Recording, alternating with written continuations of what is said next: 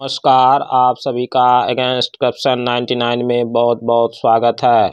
आज हम लोग इस चैनल के माध्यम से जानेंगे किस प्रकार आरटीआई लगाकर भ्रष्ट पुलिस पदाधिकारी के खिलाफ भी आरटीआई प्रयोग कर उनके खिलाफ धारा बीस एक में पच्चीस हज़ार रुपये का आर्थिक दंड लगवाया जा सकता है एवं धारा बीस दो के तहत विभागीय कार्रवाई भी करवाई जा सकती है।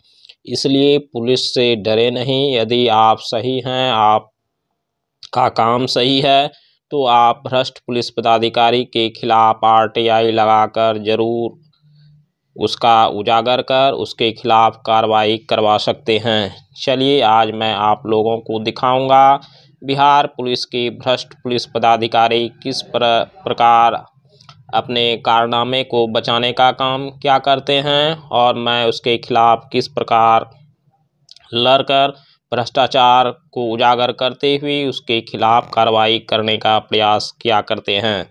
चलिए, जो इस चैनल को अब तक सब्सक्राइब नहीं किए हैं, वो अवश्य सब्सक्राइब कर लें तथा बेल आइकन को दबाकर ऑल पर भी क्लिक अवश्य कर लें, जिससे इस तरह के उपयोगी वीडियो का नोटिफिकेशन सबसे पहले आपके पास पहुँचे और आप भी भ्रष्ट पुलिस पदाधिकारी के खिलाफ आरटीआई लगाकर भ्रष्टाचार का उजागर कर दोषी पर कार्रवाई करवा सकते हैं। देखिए, यह मुझे एसएचओ के द्वारा भेजा गया है आरटीआई में द्वितीय अपील की सुनवाई इस पर दो वर्षों से चलती आ रही है, जिसमें कई बार चेतावनी के बावजूद भी सही सूचना एसएचओ सह पीआईओ द्वारा नहीं दी जा रही है। देखिए, यह भेजा गया है। मेरा नाम और पुता है। प्रसंग सूचना आयोग वाद संख्या इतना, दिनांक इतना में पारित आदेश।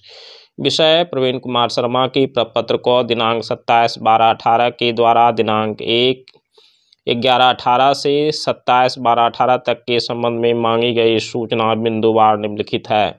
यह मैंने आर टी आई सत्ताईस बारह अठारह को ही लगाई थी, जिसमें मुझे सौ समय सही सूचना नहीं दी गई। प्रथम अपील भी किया, द्वितीय अपील में मार्च 2021 से लगातार इस पर सुनवाई हो रही है और सभी भ्रष्ट एसएचओ, सह पीआईयू आयोग के साथ साथ मुझे भी गुमराह कर रहे थे।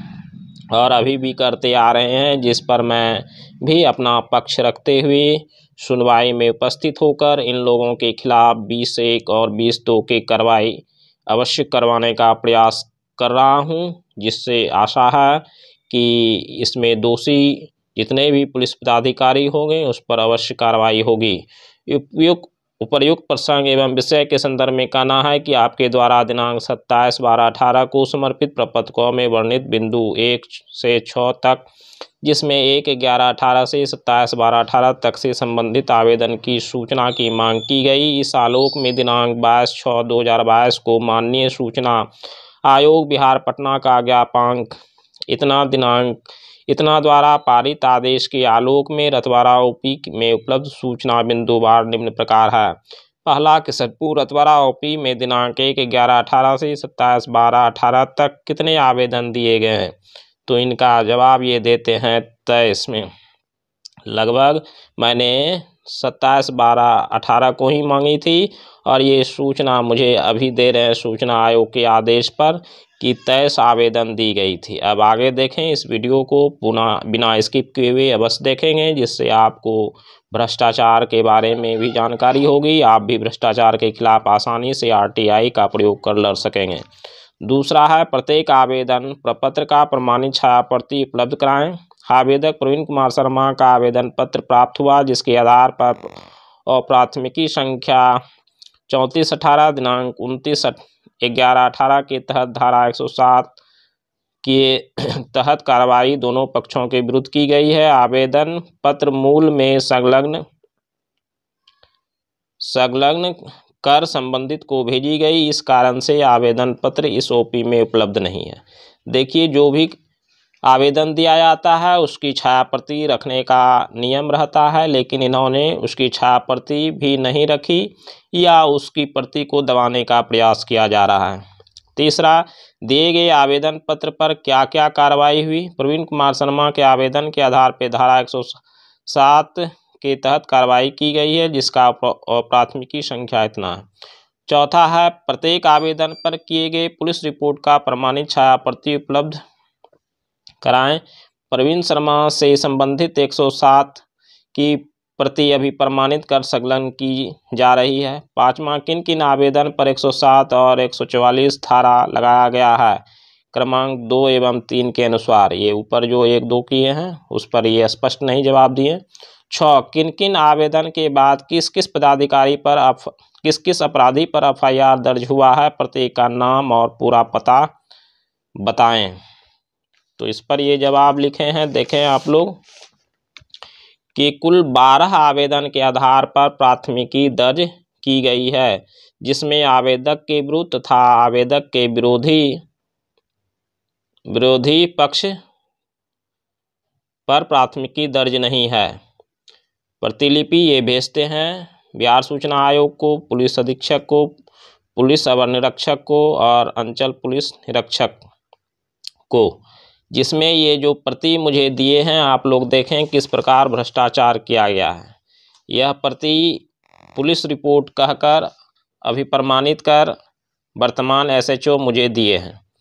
आप लोग ध्यान देखें कि ये किस प्रकार भ्रष्टाचार हुआ है। यह और प्राथमिक की संख्या चौंतीस, अठारह, उन्नीस, उनतीस, ग्यारह, अठारह की प्रति है, आप देखें। ठीक है? लेकिन तत्कालीन एसएचओ का कहीं हस्ताक्षर नहीं है इसमें। यह पुलिस रिपोर्ट सही है या गलत है या गुमराह करने के ख्याल से दी गई है, यह आप लोग अच्छी तरह अब समझ रहे होंगे। जो उनतीस ग्यारह अठारह को रिपोर्ट बना है, उस समय जो तत्कालीन एसएचओ हुए होंगे, उनका हस्ताक्षर और मोहर यहाँ चाहिए था, लेकिन इसकी प्रमाणित प्रति वर्तमान एसएचओ द्वारा चार दो तेईस को अभी प्रमाणित कर भेजी दी गई है। अब यह पुलिस रिपोर्ट गुमराह करने के लिए है या आवेदक को भ्रमित कर किया जा रहा है या सूचना आयोग को भी गुमराह कर किया जा रहा है, आप लोग अच्छी तरह समझ गए होंगे। यदि स्टेट में कोई पुलिस रिपोर्ट बना होगा तो उस समय के जो एस एच ओ रहे होंगे, उनका हस्ताक्षर और मोहर यहाँ अवश्य होनी चाहिए थी जो नहीं है। इस प्रकार ये लोग भ्रष्टाचार को बराबर दबाने का प्रयास करते हैं और पुलिस अधिकारी ही ऐसे अधिकारी अधिकांश हुआ करते हैं जो सही सूचना न देकर आवेदक के साथ साथ सूचना आयोग को भी गुमराह करते हैं।